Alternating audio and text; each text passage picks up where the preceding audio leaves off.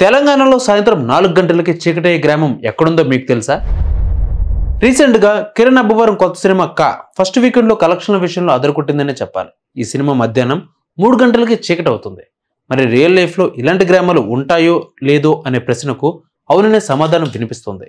ఈ సినిమాకు ఇప్పటి వరకు ఏకంగా పంతొమ్మిది పాయింట్ నలభై ఒక్క కోట్ల రూపాయలు గ్రాస్ కలెక్షన్లు వచ్చాయి. దీపావళి పండుగ రియల్ విన్నర్గా కా మూవీ అని కామెంట్లు వినిపిస్తున్నాయి. తెలంగాణ రాష్ట్రంలోని ప్రముఖ జిల్లాలలో ఒకటైన? పెద్దపల్లి జిల్లాలో కదురుపాక అనే గ్రామం కాసినిమాలో చూపించిన తరహా గ్రామం కావడం గమనార్హం.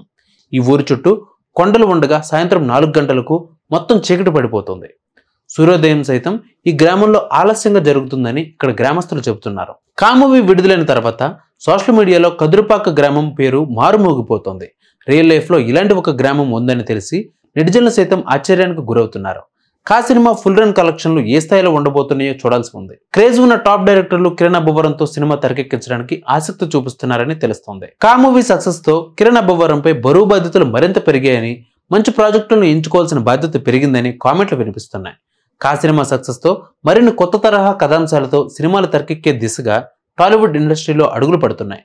సస్పెన్స్ థ్రిల్లర్స్కు ఇండస్ట్రీలో ఊహించిన స్థాయిలో డిమాండ్ పెరుగుతోంది. కా సినిమాలో ఊహించిన ట్విస్టులు ఈ సినిమాకు ఎంతగానో ప్లస్ అయ్యాయి. ఈ సినిమా దర్శకులు సుజీత్ సందీప్లకు క్రేజ్ పెరుగుతోంది. కా సినిమా మీరు చూసారా? చూడకపోతే వెంటనే వెళ్ళి చూసేయండి.